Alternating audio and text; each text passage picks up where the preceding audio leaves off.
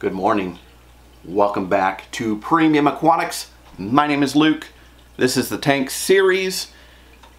Let's dive right into it. I hope you're having a great week. Staying happy, staying healthy, staying safe, not going too crazy, locked up in your home like the rest of us. I'm ready to get out in this nice weather.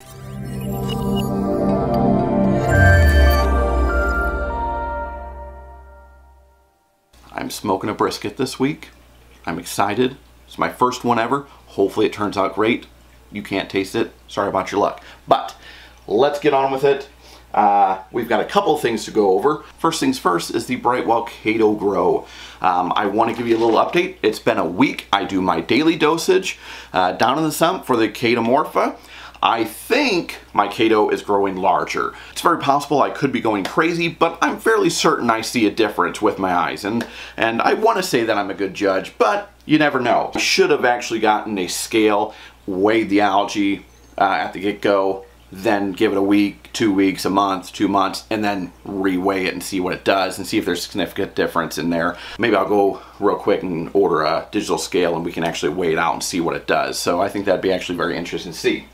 Second thing is, I've got more Nassarius snail eggs laid back here on the back of the uh, overflow box, so uh, those guys are doing great. The best news is I've got, I've told you I've got um, coralline algae growing on the magnet, but today, no, this week, I've seen that there's actually a strip of coralline along the back wall as well as a little bit starting on the overflow. So I am pumped. I know that doesn't seem like a lot, but for someone that's had this tank for how many months now and has been slowly, slowly grinding away at it, it's great to finally see some real, um, I don't know, positive as far as the coralline algae goes because I know then the color is coming and it's probably on the rock. I just can't tell because it's a little bit harder to see. But I'm ecstatic that it's on the back wall. It'll be great. Uh, hopefully it grows very quickly and kind of starts covering that back wall up. I did come into one small issue this week. The Nero 5, my prized little pump that I love so far, was not working. Uh, the motor was not spinning on it and I was getting a warning signal on the little controller stick. I think it was flashing like blue and red or white and red or something like that and it had to do with the motor. Uh, it was an error for the motor. So I'm like, okay, well crap. I haven't cleaned it in a while so I'll take it out, go and clean it and look what I find here. Warning, this is some gruesome material so if you're squeamish, look away. Three, two, one. Look right here. A poor little Asterina starfish somehow decided he was going to take life on the road, get into the Nero 5, and try and get his way into the pump where the blade just right on him.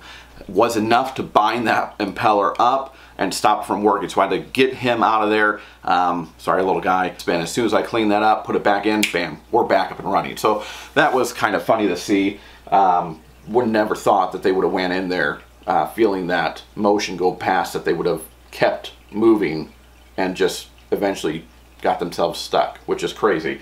But everything else looks very happy, very healthy. Everything's working very well. Uh, so ecstatic for that. So let's get into what we're doing today. We're going to look at these Reefbrites again. As you know, we have four units on here, three all blue, one 50-50. So now that we changed out our fixture to just the four Reefbrite strips, I want to bring out our buddy, the Apogee Par Meter, and we're going to rerun some tests here, and then we're going to compare them, see what we had. I really, honestly, I don't remember what we had gotten before. I know it was pretty good, um, so I'm going to bring that out, look back in the old feed, see if I can't throw up some uh, comparison pictures here for you, and uh, we'll see what we're getting out of the Reefbrite. I really think they should be pretty decent uh, because they are uh, very strong LEDs. Um, and I think I'm going to get good uh, results out of it. Let's get the par meter. Let's get it running. We'll do some tests. Let's go. Okay, so uh, got my app up here. What I'm going to do is I'm going to override my settings right now and put them both at 100% just so we get a full on at 100% on all four LEDs. This is what we're looking at compared to what we had with the ATI. Um, so I'll put that there. We have the Apogee meter. If we remember, this is the MQ510, our little sensor cable. let's get to testing it. I'm not going to worry about the back because this fixture definitely does not hit the back very well. Uh, with the way it's set up and being on the front of my glass, um, it does not get the back that great. So I'm not going to worry about testing there. We're going to test the front here and the middle, and then around some of the corals like the Duncans, the Anemone, and then maybe some zoanthid frags, and we'll compare them to what we have. So uh, let's go ahead and get in here. Okay, so I'm going to uh, get some readings here. I'm going to attempt to hold this properly here so you can see the numbers. And uh, this may be a little bit over. And um, I'll try and put the previous ones uh, right here so you can compare what the ATI got and uh, see what we got. So let's uh, power this up. So this is an air. All right, so in this front corner, right underneath the water, I'm not going to go much further just down because uh, it doesn't make a lot of sense where it is, but uh, here it is in the middle, up front, and then down at the bottom. Front corner, which my hand is blocking some of this, so here I'll try and make it so I'm not. There we go. A little, still a little bit awkward. And if we go over to the right hand side, I really should have had the wand for this. We go over the right hand side, this is right underneath the water level. And uh, here's about halfway down. And then if we go into the middle of the tank, right under the, right under the water level, and then all the way down to the bottom. And then if we go over to the left hand side under the water, should be pretty similar. Oops, right there and then about halfway down here on the left hand side. And like I said, um, so let's go at some of the corals here. This is at the Duncan.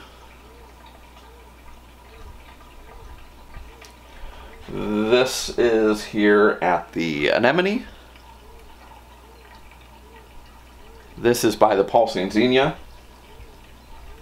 So honestly, I think the par's great. Uh, for what I have in here, you know, uh, even the anemones are getting 300 par. It should be more than happy with. And uh, as I've noted, over this past week or two weeks, these anemones have come out much more than what they were before. I am amazed at the corals and, uh, you know, the comparison between when I had the ATI up and when I had the Reefbrites. Now again, Take that with a grain of salt. There are so many factors that play a part of aquariums that it is not just the lighting. Don't you know misunderstand what I'm saying here.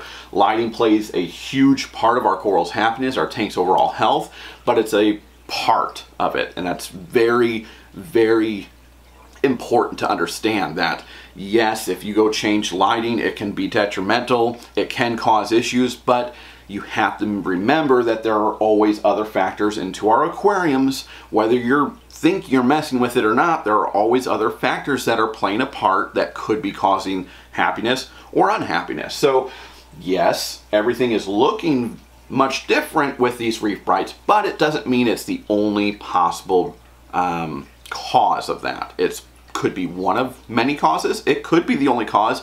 Uh, the only way to really test that would be to test and, and have a lab type uh, tank running to where you know all the variables that are in the system and you're constantly testing and all that jazz. And I'm not constantly testing 24 7. So I don't know that for sure. But I know things are very, very happy. The anemones are coming out. The um, GSP is coming out more. The zoanthids all seem to be very happy. The Duncan's happy. Um, the algae is growing. Skimmer's doing great. I'm getting the filter. Uh, the filter roller is still rolling away, you know, collecting all that crap out of the tank. So uh, overall, everything seems to be doing great. And I think this par readings really uh, kind of prove that Reefbrite is more than just supplemental lighting. You can definitely use it as main source. Um, and if you want to add some oomph with it, it's definitely a great way to go and something to really consider. Should I get a fifth one on here? I could always get a UVA. I'm not too certain about that one, but I could get an all UVA and throw that on there to get that wider spectrum. I don't know. What do you think? Fifth one? No fifth one. I don't know. we'll think about it. Anyways, guys, that's it. I wanted to bring the par readings like I told you I would, so that's the results. Thank you for stopping by as always. If you haven't, make sure to like and subscribe, share the content, hit that bell for the notifications so you stay the most up to date on this system, as well as the other videos we're putting out. Stay safe, stay happy and healthy. I will see you guys next weekend. Peace. Go cook something. Get out of the house. Go out back. It's nice out. There's no snow.